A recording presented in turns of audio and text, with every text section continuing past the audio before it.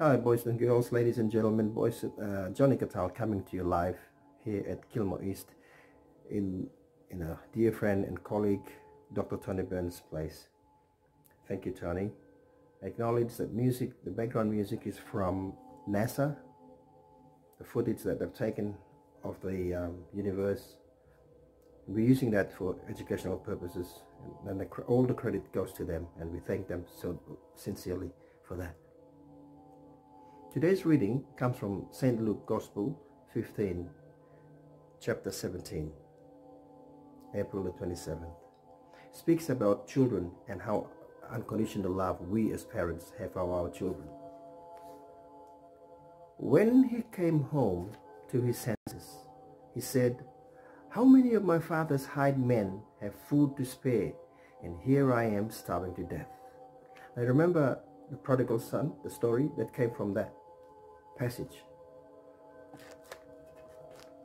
Continues on, the most generous thing that most people will ever do is to bring up their children. This is not to deny the generosity of those who don't have children, nor the great rewards and pleasures of parenthood.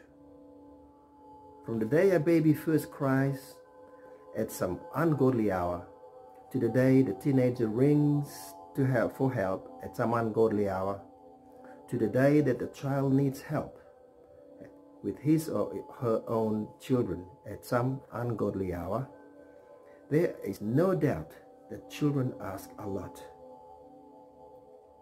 They teach their parents how to be generous. Perhaps this is one factor which helps to explain the astonishing number of abortions which takes place in Australia, around 80,000 a year. In many of those cases, people simply choose to spend their time or money in other ways. It is tragic choice. It results in loss of human life. Few people make the choice for or against life in, a, in the dire circumstances as Gianna Beretta Molla, 1922 to 1962 whom the church remembers today. Gianna was a pediatrician who somehow managed to combine the demands of life, of a career, and two small children. During her third pregnancy in 1962, she was diagnosed with a tumor in her womb and was advised to have a hysterectomy, which in normal circumstances would abort the fetus. Catholic moral teaching may well have allowed a hysterectomy in such circumstances, but Gianna's choice, uh, choice was to put the life of the baby ahead of her own. Remarkably, the baby was delivered safely via cesarean. Although Gianna died of peritonitis a week later, she made a heroic choice.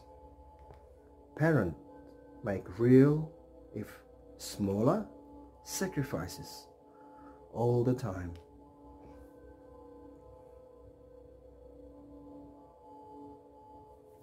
As we dwell and we reminisce and we think, digest the reading for today, we are, we're reminded that parenthood is a gift, it's a blessing, and children our, our, our priceless. You can't put a price tag on children.